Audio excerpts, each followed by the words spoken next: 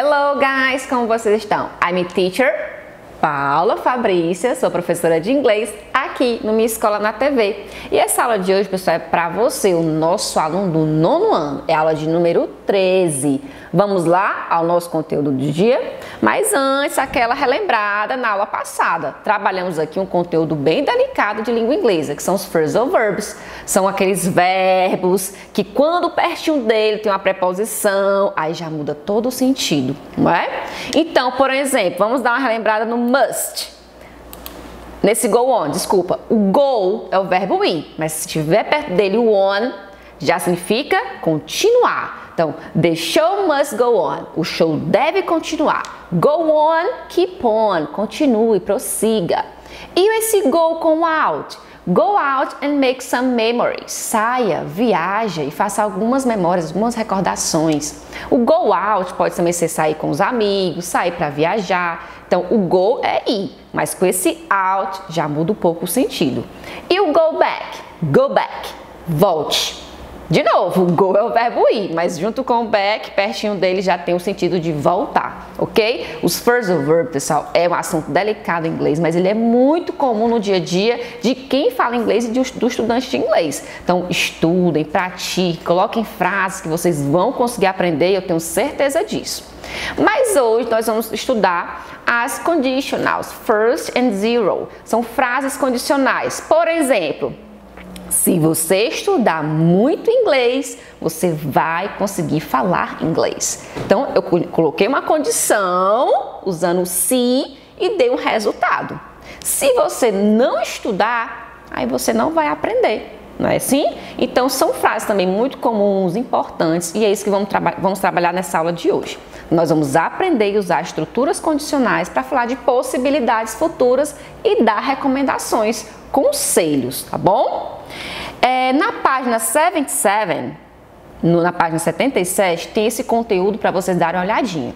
No nosso warm-up, no nosso aquecimento, eu trouxe aqui duas imagens para a gente trabalhar as sentenças condicionais e observarmos a estrutura. Você precisa aprender, ter compreendido um pouquinho de presente simples, que é um assunto do oitavo, do sétimo, de futuro com will, que também é um assunto de, de é, séries passadas. Então, como eu vou aprender as conditional sentences? Eu preciso saber um pouco de tempos verbais, tá bom? Eu sempre digo aqui, um conteúdo vai puxando o outro para você desenvolver na língua inglesa. Então, dá uma olhadinha nessa primeira imagem, da letra A e a segunda da letra B. São imagens do livro de vocês. Vamos tentar que ler essas sentenças e entender o que está acontecendo. If you ever find yourself lost in the dark and you can't see, I'll be the light to guide you. De novo. If you ever find yourself lost in the dark and you can't see, you'll be the light to guide you. Então, se você se encontrar perdido no escuro e você can't see, não vai conseguir ver, eu estarei lá te guiando com uma luz, vou te ajudar, não é assim? Então, existe uma situação se ele usou o if e o resultado ok? É uma situação possível de acontecer? É. Então, se você se encontrar perdido, lost, e você não vai conseguir enxergar quem te see, I'll be the light to guide you. Eu vou ser a luz que vai te guiar. Situações possíveis de acontecer. E na letra B, if you ever find yourself stuck in the middle of the sea, I will sail the world to find you. If you ever find yourself stuck in the middle of the sea, I will say the word to find you. Então, se você se encontrar encalhado, digamos assim, no meio do mar, eu irei navegar o mundo para encontrar você. Olha que frase legal, né? Então, pessoal, essas sentenças elas são bem complexas, digamos assim, mas possível de compreender. A primeira sentença, if. Repete essa palavra comigo. If significa se. Então, se você se encontrar stuck, não é? Encalhado ali, digamos assim, você se perdeu ali no meio do mar. Então, você ficou encalhado. E no middle of the sea. I will, olha isso aqui. Quem lembra o que é esse, esse dois L's aqui juntinho com I? É o will, só que de maneira abreviada, tá bom? Então, pessoal, vamos entender melhor essa estrutura das conditional sentences. A first conditional, que é a primeira condicional, ela é usada para falar de situações to talk about possibilities in the present or in the future. Ela vai falar sobre possibilidades. Se você ficar lá encalhado, né? Você ficar lá perdido, eu irei te ajudar. São situações possíveis de acontecer no presente ou no futuro. E a estrutura, você vai usar o if, como a gente viu lá na, na primeira sentença, lá no warm-up, um verbo no simple present, a vírgula e um verbo, uma situação com o verbo no simple future, ok? Então vamos só voltar aqui, ó. Tem o if, tem o verbo find no presente simples, tem a vírgula e tem a, na outra sentença, que é o resultado, o futuro. Muito bem. Ou pode vir o contrário, não é? Pode vir o simple future na frente, sem a vírgula, some a vírgula nessa situação, o if mais o simple present, tá bom? Não vai mudar o contexto, a, o significado da sentença. Por exemplo, na letra A, vamos ver exemplos mais simples. If you study hard, you will pass your exams. Então, se você estudar hard, estudar muito, você vai passar na sua prova, nos seus exames. Vamos ver a estrutura? Tem o if, tem professora. Tem o verbo study no simple present? Tem, professora. Tem a vírgula e a outra sentença, que é o resultado do teu ato de estudar muito, está no simple future. Agora, se eu falar assim, você passará nos seus exames, no seu teste, se você estudar muito. Não mudou o sentido, concordam comigo? Então, tudo bem, você pode trazer para cá a segunda sentença, que é o resultado, you will pass your exams if you study hard. Mas aquele detalhe, a vírgula some. Eu gosto muito de mostrar para meus alunos, de ensinar, que o if vai carregar com ele o simple present. Então, olha só, o if carregando o study no simple present.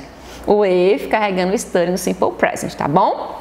Vamos ver mais exemplos. Vamos ver aqui, falar sobre possibilidades no presente e no futuro. Na letra C. If we go to bed early, we will feel better tomorrow.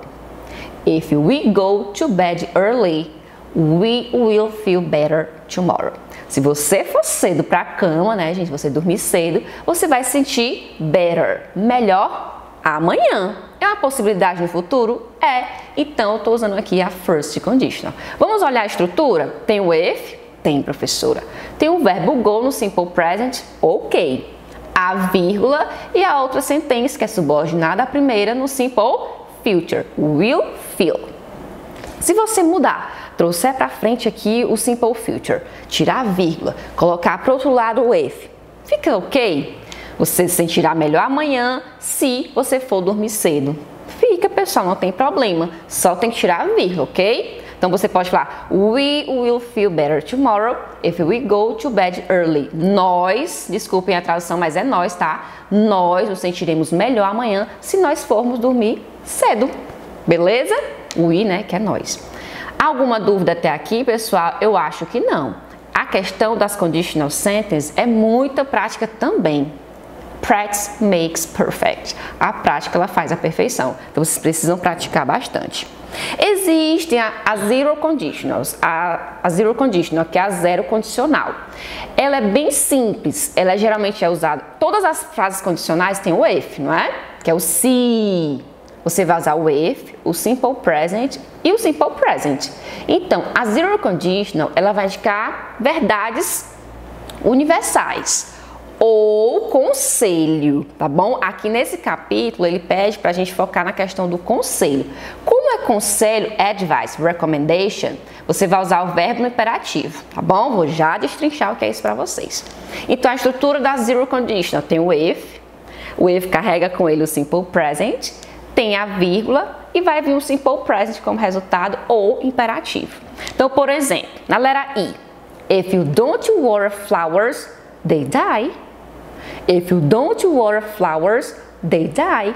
Se você não colocar água nas flores, nas plantas, nas flores, né? Elas vão morrer. É um fato, é uma verdade, tá bom? Então você vai usar o if. Don't water tá no simple present, que é o do not. E o die, que é o verbo morrer, está no simple present.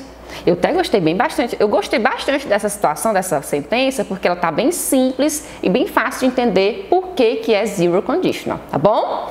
Na letra F, if you have a headache, stop watching TV. If you have a headache, stop watching TV. Se você tiver, tem aí uma dor de cabeça, pare de assistir televisão, porque às vezes influencia na visão e dá dor de cabeça. Então aqui já é uma uma recommendation. Então você vai usar o if, o verbo have no simple present, a vírgula e aqui o stop já está no imperativo. Por isso que é uma recommendation, é zero conditional. Ok?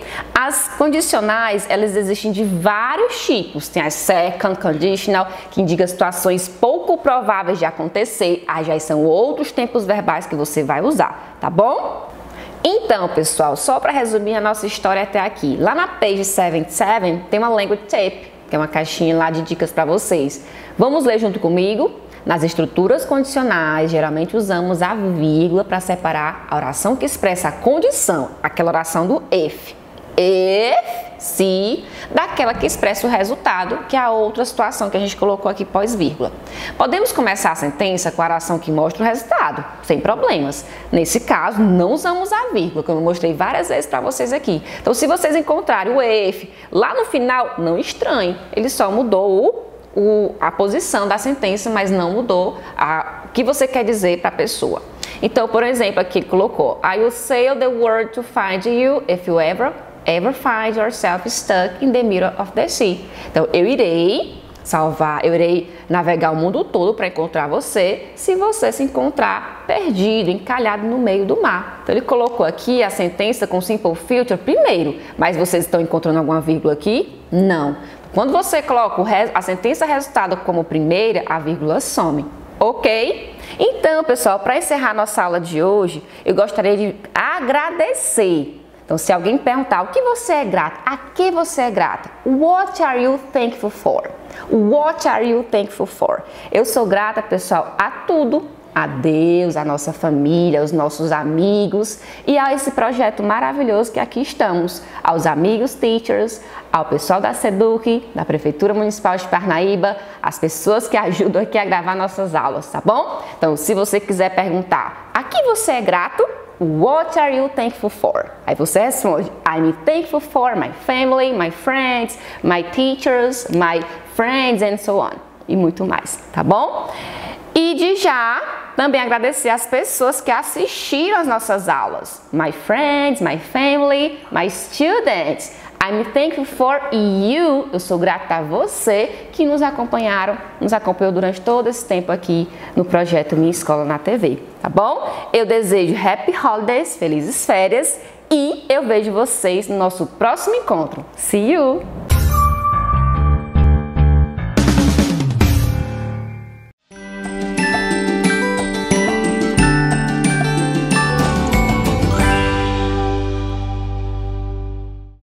Bom dia, meus caros alunos e caras alunas, como é que vocês estão? Tudo bem com vocês? Pessoal, finalmente chegamos à aula de número 15, aula pensada e planejada para você, meu aluno do nono ano, como também para você, meu aluno da educação de jovens e adultos.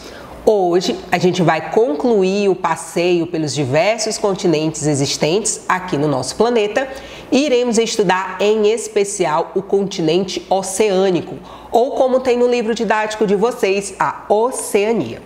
Nessa aula de hoje, a gente vai conhecer algumas características do meio natural e o processo de construção do espaço geográfico daquele continente.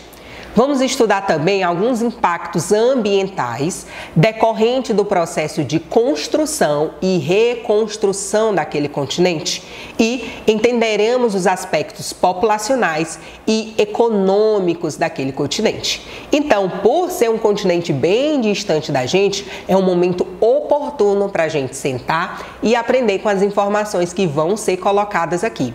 E é claro, não esqueçam do nosso companheiro de viagem, nosso livro didático é ele, né, que vai, né, ser a janela da nossa imaginação, a janela das nossas informações. Então estejam com ele aí, porque eu tenho certeza que ele vai ser um elemento essencial nessa viagem que a gente está começando agora.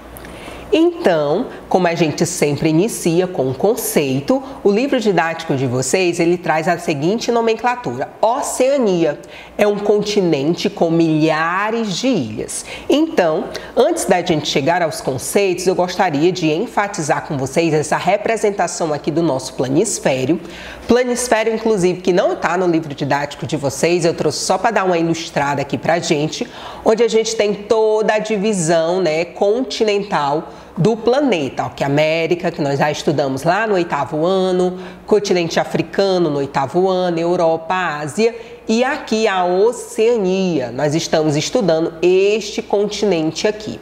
E, né, numa projeção maior, eu trago essa representação aqui. Nesse segundo mapa, a gente, né, quando compara com esse primeiro, a gente nem consegue ver tanta, né, as definições, né, a estrutura. E é por isso que a gente hoje vai estar tá privilegiando essa estrutura, certinho? Prestem bem atenção. Com 8 milhões 528.382 quilômetros quadrados de terras emersas, ou seja, continentais, a Oceania, esse continente aqui, ele vai reunir Austrália, Nova Zelândia, Papua Nova Guiné e milhares de ilhas localizadas lá no Oceano Pacífico. Olha aqui o Oceano Pacífico e aqui, ó, essas inúmeras ilhas, né? Aqui nesse segundo mapa a gente consegue ver com maior riqueza de detalhes. A gente vai estar tá vendo aí a composição do continente oceânico. Desse total, pessoal, mais de 90%, exatamente 90,22% das terras correspondem à Austrália. A Austrália, esse grande bloco aqui de terra. E o restante aos outros países e às ilhas do continente. A Oceania, né, a fins didáticos e até mesmo da própria organização, ela vai ser dividida em três grandes grupos, né? A gente vai ter a Melanésia, a Micronésia e a Polinésia, né? São nomes assim bem específicos, mas a gente vai já já entender a peculiaridade de cada um.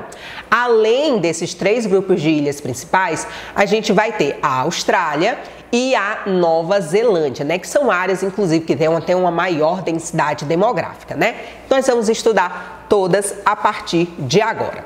Ainda falando sobre o continente, né? De um modo geral, a economia desses três grandes conjuntos tem bases de culturas comerciais, ou seja, para exportação onde a gente vai perceber destaque né, em produtos como café, cana-de-açúcar, frutas tropicais, mineração de níquel, ouro, cobre, petróleo, fosfato e, é claro, além do turismo, vocês vão ver que é um ambiente muito bonito no decorrer das imagens, que vai ter aqui no slide, mas também tem aí no livro didático de vocês, e a pesca.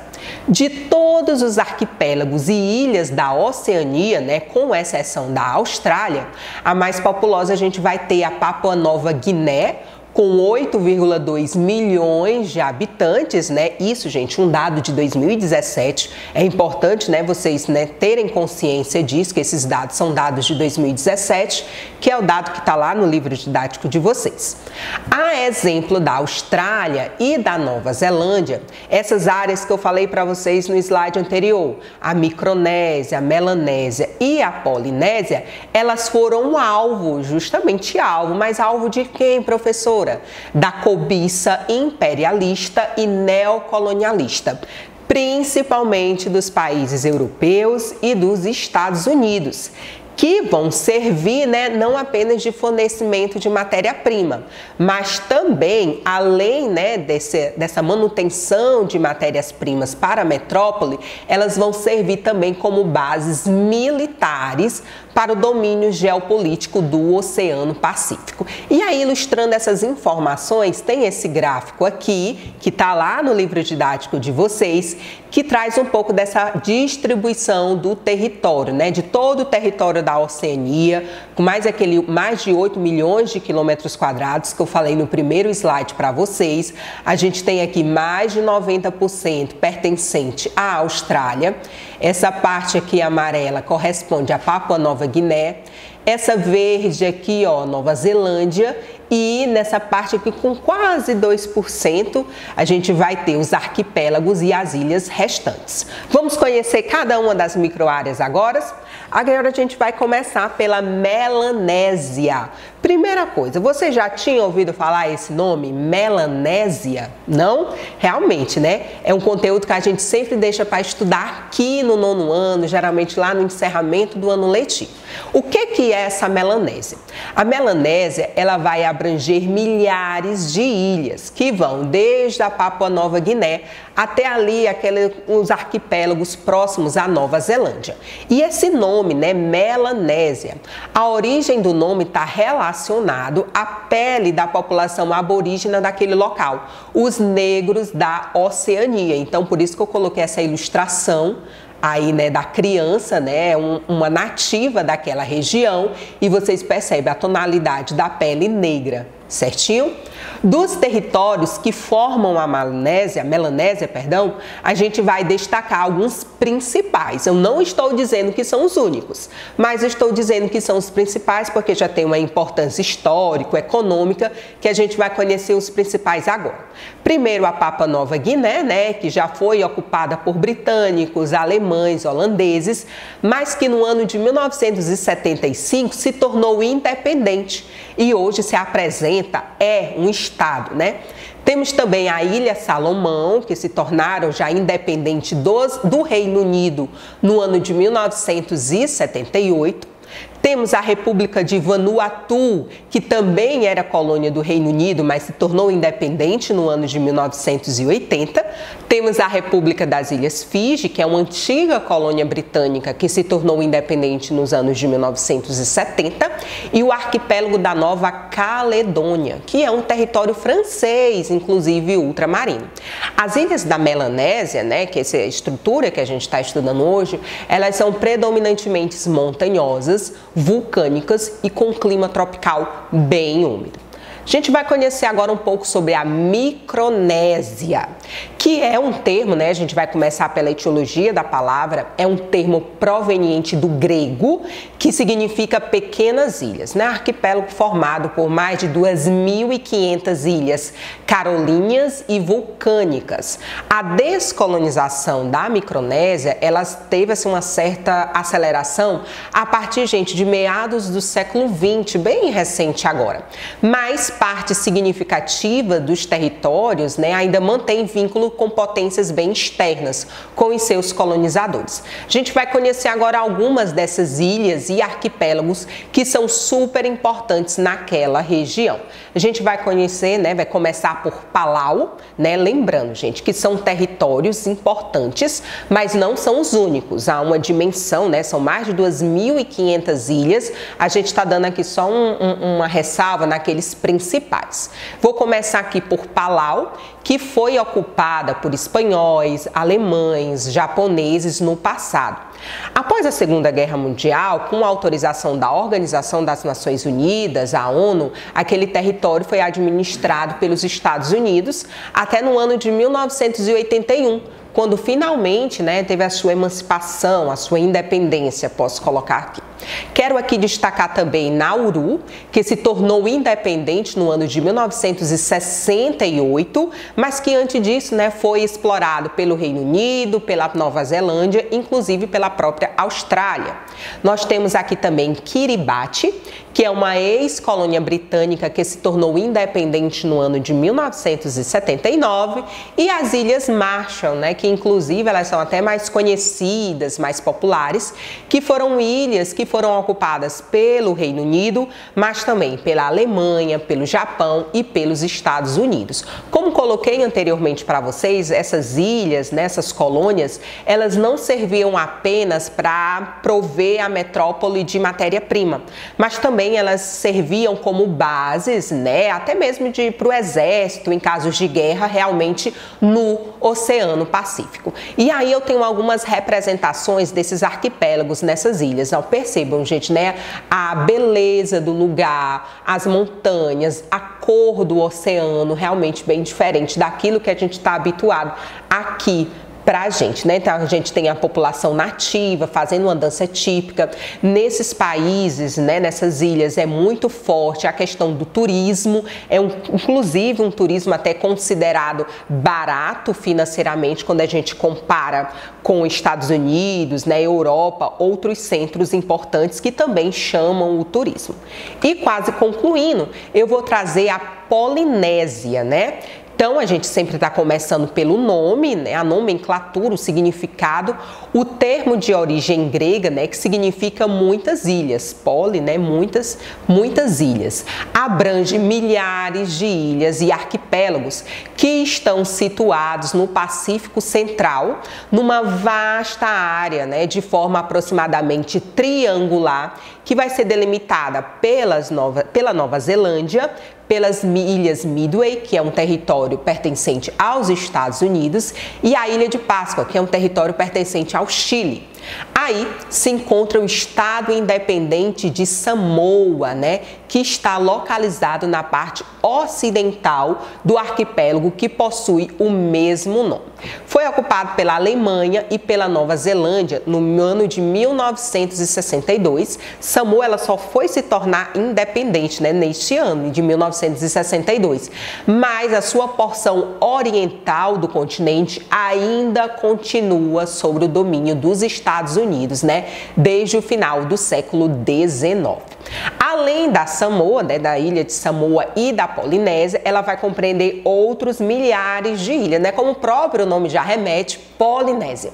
E eu quero evidenciar aqui para vocês Tuvalu, que é uma ex-colônia britânica que se tornou independente somente do ano de 1978, Bora Bora, Tahiti, Ilhas Cook, que pertence à Nova Zelândia, é uma colônia da Nova Zelândia, Pitcairn, que é uma colônia do Reino Unido, e Marquesas, né, que formam a chamada Polinésia Francesa, como o próprio nome já remete, né, território da França. Então percebam, né, o que mais evidencia além de toda essa estrutura é que são territórios que muitos ainda não têm a sua autonomia, dependem, né, de grandes centros, geralmente situados ou na América, no caso nos Estados Unidos, ou na Europa, que é o caso do Reino Unido, na França, mas o que mais chama realmente a atenção pelas imagens é a caracterização física, a cor do céu, a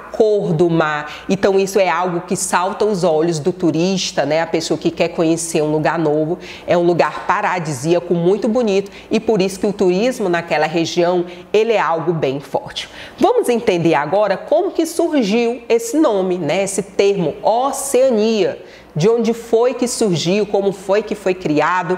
O termo Oceania, pessoal, ele foi criado no ano de 1831.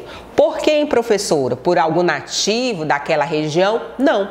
Pelo explorador francês, olha aí, ele não era daquele continente, ele era lá da Europa, mas foi quem nomeou, francês chamado Dumont d'Urville. É exatamente essa pronúncia, Dumont d'Urville. Esse termo, né, ele é utilizado hoje em dia em vários idiomas para designar aquela região geográfica e política que compreende né, o continente da Austrália e as ilhas do Oceano Pacífico adjacente. Todo aquele conjunto de ilhas que estão situadas ali no Oceano Pacífico. E aí a gente vai ter essa delimitação territorial, né? Os limites da Oceania, eles vão ser definidos de várias maneiras. A maioria dessas definições, ela reconhece algumas partes da Austrália, da Nova Zelândia, da Papua Nova Guiné e parte do arquipélago malaio, né, como sendo partes da Oceania. É muito interessante, né? Que se vocês forem fazer pesquisas posteriores, vocês vão encontrar muitos sites e até mesmo alguns livros dizendo que a Oceania ela é chamada de novíssimo mundo. Então, nós temos a Europa conhecida como Velho Mundo, a América conhecida como Novo Mundo e a Oceania é chamada de Novíssimo Mundo. Mas por que, professora? Por que essa, essa nomenclatura? Porque foi o último continente a ser descoberto pelos europeus. Se os europeus chegaram aqui no, no Brasil, né, vamos supor, aqui nessa parte do continente americano no ano de 1500, eles chegaram lá na Oceania no século 17. E só no final do século 18 que se deu início à colonização. E quem foi que começou essa colonização, gente? O, a chegada de prisioneiros britânicos. Né? Eles eram tirados do território e eram enviados para lá para trabalhar, inclusive, na lavoura. Quase todas as ilhas da Oceania, gente, têm a população composta majoritariamente por indígenas, ou seja, por pessoas nativas daquele local certo? Com exceção da Austrália e da Nova Zelândia, porque, né, que o colonizador fixou sua morada ali, o branco, o europeu, que maioria tem até origem britânica, né? E eles constituem a maior parte dos habitantes. Os grupos humanos, tanto da Melanésia como da Micronésia e os polinésios, eles costumam migrar de um arquipélago para o outro em busca de melhores condições de trabalho. Então, aquela máxima que a gente já aprendeu, né, que as pessoas procuram melhores condições de vida, ela também se repete lá na Oceania. As pessoas, né, sempre procuram essas melhores condições de trabalho. E por conta disso, há, assim como acontece aqui no Brasil, um alto grau de miscigenação, né? a mistura das raças, podemos dizer assim, a mistura das etnias. Em algumas ilhas, inclusive, gente, a gente verifica até presença de grande parcela de indianos e chineses, que até mesmo por conta né, da localização estratégica, geográfica, são os países em que mais recebe né, é, imigrantes da Índia como também da China. Como sempre, as pessoas procurando melhores condições de vida.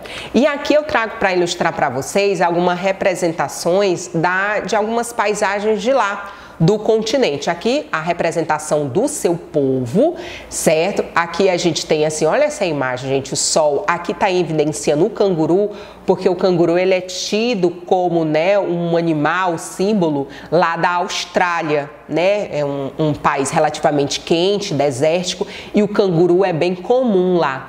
Aqui a gente tem a foto de Sydney, capital da Nova Zelândia. Inclusive, pessoal, quando é assim próximo de final de ano, né, chegando no Réveillon, é o lugar onde tem o primeiro, né, onde já chega o ano primeiro, a relação é o fuso horário, a diferença entre o Brasil horário de Brasília, né? Porque o Brasil a gente tem mais de, de, um fuso horário.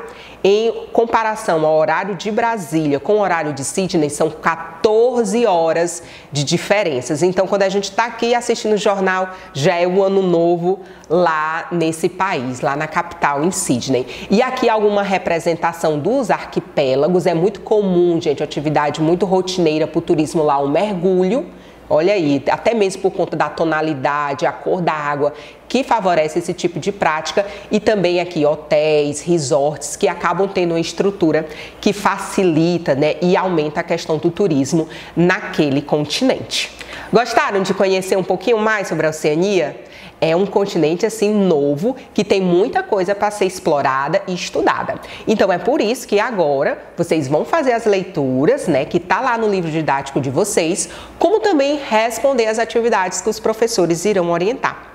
Muito obrigada pela participação de todos, foi um prazer estar aqui com vocês e até os nossos próximos encontros. Tchau, tchau!